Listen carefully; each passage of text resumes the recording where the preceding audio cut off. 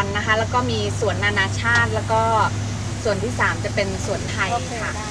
ตรงนี้จะเป็นพื้นที่ของบริเวณของสวนองค์กรนะคะ เป็นการร่วมกันจัดสวนของหน่วยงานภายในประเทศทั้งภาครัฐและเอกชนเลยนะคะ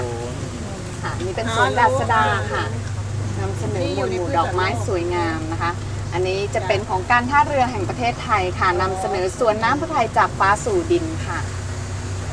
ถัดมาของบริษัท TPI โพลีนชีวอินทรีย์จำกัดค่ะรวมกันอนุรักษ์สิ่งแวดล้อมโดยการผลิตปุ๋ยชีวอินทรีย์จากขยะที่ผ่านการคัดแยกค่ะ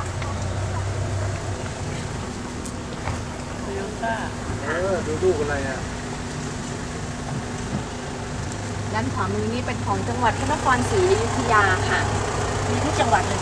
อ่าไม่ไม่ครบทุกจังหวัดค่ะจะเป็นหน่วยงานซะมากกว่าค่ะค่ะ และ ตรงนี้เป็นของปตทจำกัดมหาชนค่ะ จะนำเสนอปรัชญาเศรษฐกิจพอเพียง3ทศวรรษแล้วก็การท่องเที่ยวเชิงระบบนิเวศค่ะ ถัดมานี่ขององค์การโคนมแห่งประเทศไทยนะคะ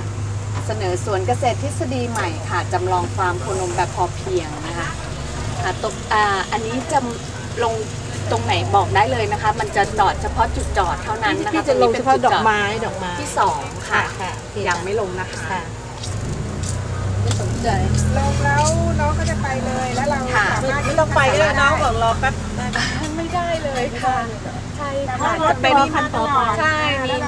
แล้วเราขึ้นได้ตลอดจะเป็นรถหมุนเวียนนะคะจะมาทุก 15 นาทีอยู่แล้วค่ะ เวลาชมสวนก็เพลินๆก็ไม่พอแทบไม่พออยู่แล้วค่ะพี่15พี่เน้นกล้วยไม้กับกุหลาบมีไหมจ๊ะอ๋อตรงนั้นค่ะน่ะเดี๋ยวจะมีสวนกล้วยไม้ที่นั่นแหละสวยมากนั่นแหละเอาตรงนั้นก่อนเลยได้ค่ะไม่ลงค่ะอันนี้เป็นสวนน้ำพระไทยค่ะจำลองฝ่ายชะลอน้ำแล้วก็กังหันน้ำค่ะโอ้โหทำตรงนี้สวยว่ะด้านซ้ายมือของ TOT นะคะ เป็นสวน TOT รักโลกค่ะที่ เห็นอยู่เหมือนนี่ส้มโอแต่ไม่ใช่ค่ะ เป็นน้ำเต้าต้นนะคะน้ำเต้าต้นเป็นไม้ประดับค่ะทานไม่ได้นะคะ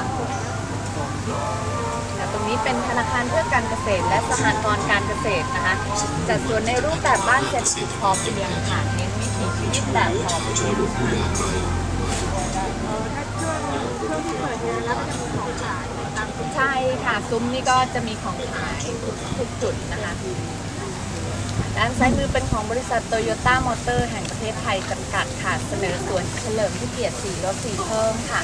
และตุนตัวค่ะ ด้านซ้ายมือนี่เป็นอุโมงค์ที่ดูฮาของโตโยต้าด้านในจะเป็นของจริงทั้งหมดเลยว้าวถูกขนาดนี้ดูสิถ่ายรูปไหมเอาไปถ่ายรูปไหมไปกล้วยไม้เลยดีกว่าค่ะ เดี๋ยวจะถึงแล้วค่ะ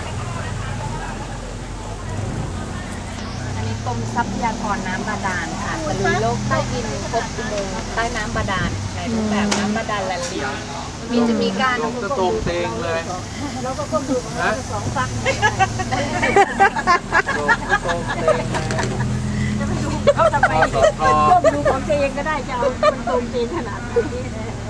อันนี้ของบริษัทเครือเจริญโภคภัณฑ์ค่ะ มีเอ่ออุโมงค์นวัตกรรมฉายภาพยนตร์แบบรอบทิศทางค่ะเล่าถึงต้นกำเนิดของเครือเจริญโภคภัณฑ์จนถึงปัจจุบันเลยนะคะ